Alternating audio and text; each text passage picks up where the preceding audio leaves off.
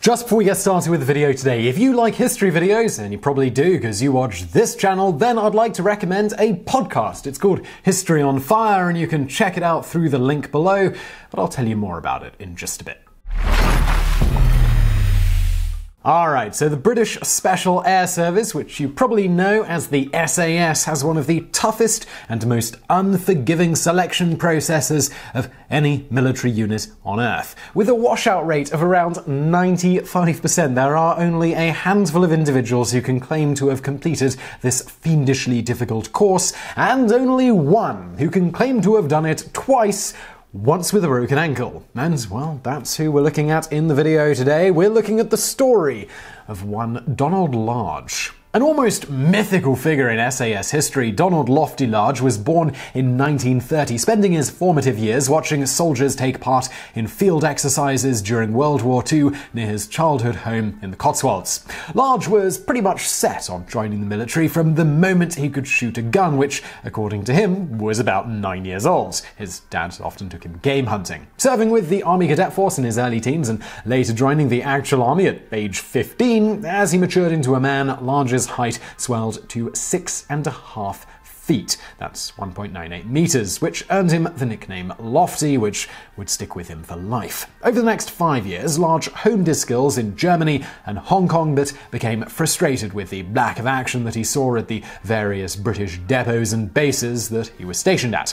This culminated in Large requesting a transfer in 1951 to the Gloucestershire Regiment for the sole purpose of fighting in the Korean War, which he nonetheless admitted he thought was a useless war. After being trained in Japan, Large saw combat in Korea, taking part in the Battle of Imjin and then defending a location that came to be known as Gloucester Hill in honor of the ferocious defense his regiment mounted during the fight. During this battle, Large was shot through the shoulder and was ultimately captured along with several other men from his regiment. Despite a bullet and plenty of shrapnel in his body and with only basic medical attention, he then survived a 10 day forced march to a POW camp near Chong Sung. During his internment at the camp, Large was shot again, endured the pain of the bullets and shrapnel, which was still embedded in his body, came down with a host of tropical diseases, and generally had a pretty rough time, as you could probably tell. He would later recount that he learned to cope with the pain by smoking the wild marijuana that grew around the camp and reading the exceptionally few letters from his future wife, Anne, a nanny that he met in 1951 while in Hong Kong, that managed to get through to him. According to Large, it was about one in five that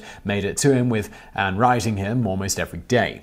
Large spent two years in the POW camp, going from a muscular 217 pounds, that's 98 kilograms on the 6 foot 6 inch frame, down to a mere 136 pounds, that's 62 kilograms when he was released. This release actually happened as part of a wounded prisoner exchange program. As a result of two years of inactivity, his injured left arm was almost atrophied to the point of uselessness, and most of the rest of his muscle mass was long gone. The extent of Large's injuries were such that the army tried to discharge him on medical grounds upon his return, but Large let it be known that it was his intention to get his arm better, as well as the rest of his weakened body, and return to active service. Four years later, during which time Large had functioned variously as an instructor, a military police officer, and a quartermaster for the army, all while enduring daily excruciating pain as he slowly built up the muscle he had lost in his arm and body, Large was once again fighting fit. Almost as soon as he was declared fit to return for service, he volunteered to join the SAS. When asked why he wanted to volunteer, Large responded simply, I'm tired of all the bullshit.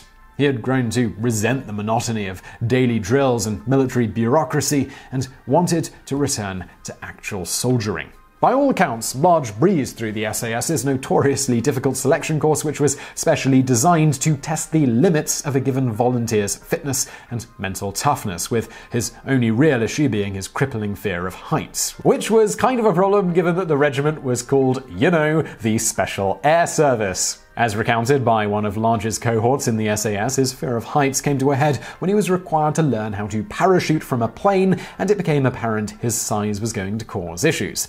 You see, Large weighed almost 240 pounds, that's 108 kilograms at this time, which combined with the equipment he had to carry meant he'd fall faster and hit the ground harder than other commandos. This was a problem at the time because the parachutes were specifically designed to ensure that a typically sized soldier would fall relatively fast to avoid being a slow moving target for any enemies on the ground. These primitive parachutes also had limited control, so falling fast would help ensure that the soldier wouldn't land too far away from the target zone. Another issue was that Large was so, well, large that he couldn't comfortably jump out of a plane. In fact, he nearly died early in his training when he tried to squeeze out of a plane's fuselage and became unbalanced. This led to a sort of awkward forward roll out of the aircraft. Things became dire when an equipment container attached to his legs, along with his legs, became tangled in his parachute's cords as he plummeted to the ground. Now, it's not for nothing that Large is a legend in the SAS, however. Keeping his composure while the ground rushed up at him, despite Large being more or less in an upside down position with his parachute deployed, he managed to detach the equipment container from his leg and kick that leg free of the parachute lines. Using his now freed leg, he then kicked the tangled lines off his other leg, which resulted in his body swinging around the right way up and his parachute fully deploying, reportedly very shortly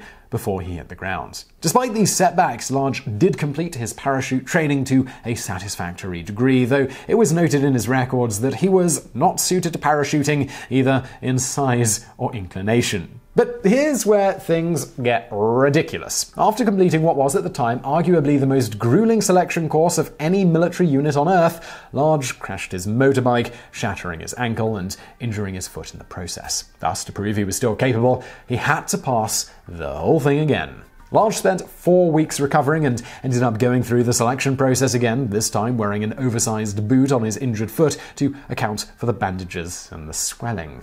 Knowing that he was able to pass the SAS's training twice, the second time while injured, it's probably no surprise that Large had no real problems serving with the unit, taking part in countless combat and reconnaissance missions across the world. During one mission, Large cemented his reputation as a man you wouldn't want to mess with by punching out a donkey because it and and its owner annoyed him. This incident occurred when he was stationed in Oman helping to suppress a rebellion in 1958.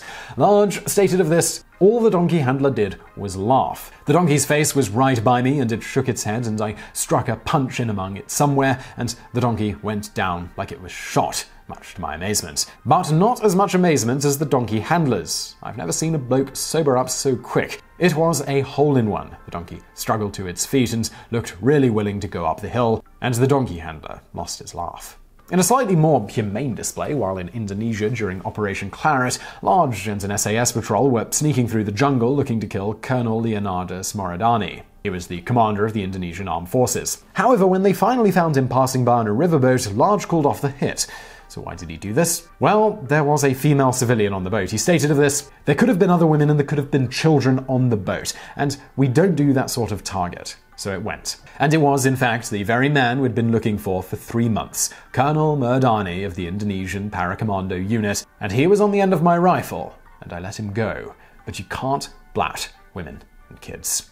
Large stayed with the SAS after retiring from active duty, training the next generation of SAS commandos before retiring in 1973 to enjoy time with his wife. For the most part, Large's final years were uneventful, at least compared to his antics as a young man, though he did notably return to the jungles of Borneo in 2003 as part of a documentary about his regiment's exploits. Large passed away at the age of 76 in 2006 after struggling with leukemia for a few years. Today, a small memorial to this larger than life man exists in the Allied Special Forces Memorial Grove in the form of a bench donated by his comrades in 2012. Now, just before you go today, let me make a recommendation. Daniele is a university professor, a writer, and a martial artist for good measure, and he also hosts a podcast. And if you're interested in learning more about some of the most intense moments in human history, and certainly some larger than life characters like you saw in this video, you should definitely check out his podcast called History on Fire. It's actually one of the most popular historical podcasts in the world, and if you like our show here on YouTube, I think you'll really enjoy this podcast. So check it out on iTunes or wherever you get your podcasts podcasts, or just check out some of the links in the description below. And as always, thank you for watching.